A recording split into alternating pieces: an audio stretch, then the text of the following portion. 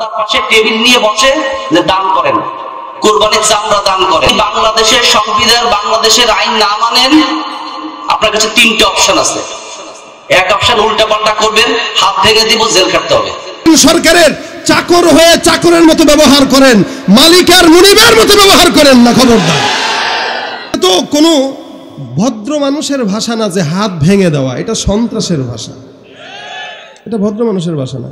আমাদের দেশে কিছু কিছু স্যাররা বলে যে, জনগণের টাকা দিয়ে, আমাদের টাকা দিয়ে খায়।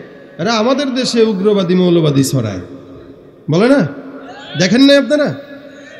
একজন স্যার যদি এই কথা বলে যে, আমাদের টাকায় তাদেরকে আমরা পালি জনগণের টাকায় তারা বড় হয়, আমাদের জাকাত খেয়ে তারা বড় হয়, আমাদের সৎকা খেয়ে বড় হয়। এই, অফিসার সাহেব, শুনে রাখেন।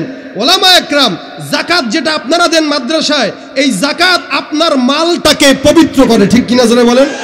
এই মাদ্রাসা যদি জাকাতের ফান না থাকতো, আপনার সম্পদ পবিত্র হইতো না, হারাম খায় আবাদত নষ্ট করা লাগতো আপনার মেয়ে। তো আমল মাদ্রাসায় তো জাকাতের টাকা খায়, আল্লাহর বিধান খায়, আপনার মতো ঘুষ খায় না, সুদ খায় বড় লোক হয় না। লজ্জা থাকলে এই কথা কেউ বলে না। এখান থেকে শিক্ষা নেন, এই এলাকার মানুষ পাঁচ মাসে নয় লাখ টাকা কাউকে কিন্তু দুনিয়ার মহাব্বতে দেয় না, কোরআনের মহাব্বতে দিয়েছে। কোরআনের মহাব্বতে এটা দেয় মানুষ। জনগণের টাকা দিয়া মাদ্রাসার ওলামা একরাম জনগণের খেদমত করে।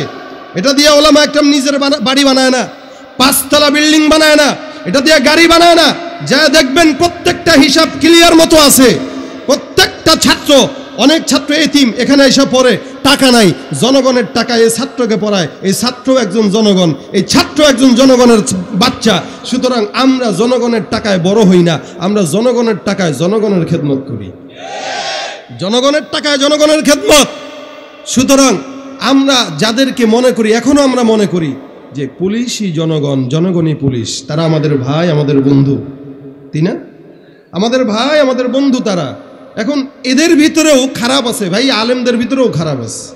আমাদের ভিতরেও খারাপ আছে। খারাপ, ভালো মিলে দুনিয়া। সুতরাং একজন যদি খারাপই করে, তাহলে একজনের কারণে গোটা দলের বদনাম হয় হয় না? এক অফিসারের এই কথা, গোটা প্রশাসনের এই কথা হইতে পারে না? এটা তো কোনো ভদ্র মানুষের ভাষা না যে হাত ভেঙে দেওয়া। এটা সন্ত্রাসের ভাষা। এটা ভদ্র মানুষের ভাষা না। যারা কোরআন শিখতেছে যারা মাদ্রাসায় আলেম হইতেছে, তাদের হাত ভেঙে দিতে চান? আপনি অপেক্ষা করেন, আল্লাহ পাক বলে, তাদের জন্য আমি আল্লাহ যথেষ্ট। কে যথেষ্ট? এই মুমিনের জন্য আল্লাহ যথেষ্ট। ইমানদারের জন্য আল্লাহ যথেষ্ট। এই জন্য অযথা হুমকি টুমকি দিয়েন না। আমরা আপনাদেরকে বন্ধু মনে করি, আমাদের বন্ধু হিসেবে থাকেন। আপনি যেই চাকরি করেন সরকারের, চাকর হয়ে চাকরের মতো ব্যবহার করেন। মালিকার মুনিবের মতো ব্যবহার করেন না, খবরদার।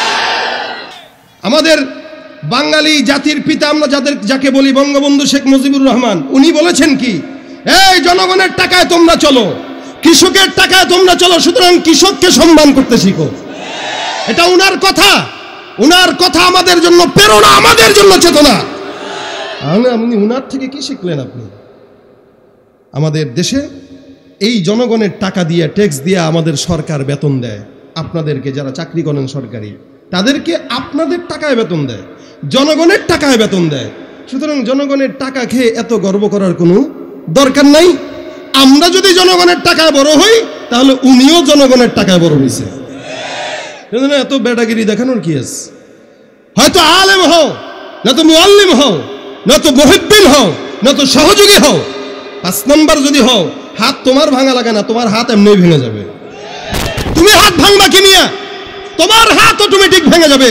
কোরআনের বিরুদ্ধে যে কেউ আঙ্গুল তুলেছে, ওই আঙ্গুল দুনিয়ার জমিনে টিকতে পারে নাই, ভেঙে চলে গেছে। কোনোদিন কেউ টিকতে পারে নাই।